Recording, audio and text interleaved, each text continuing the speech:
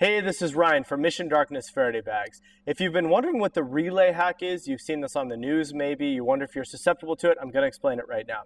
This is a smart key fob. What that means is when I go up to my car, the car opens automatically. I only need to have the key near it for the car to open.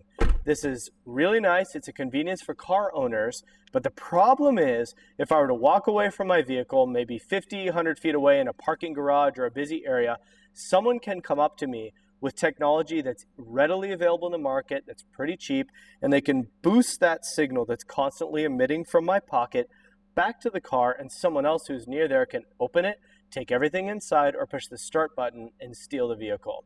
This leaves you completely susceptible to theft. So, what do you do? We have the Mission Darkness Faraday bag. This is a simple bag that you just put your key fob inside of after you leave your vehicle and push the lock button, and it's going to keep the signal from emitting from the fob. So, let me show you. I've got the fob near the car. I can't open it because the signal can't leave the bag.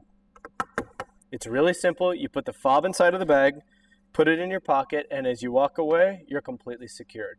So this is the Mission Darkness Faraday bag for key fobs. You can get this at mosequipment.com or Amazon.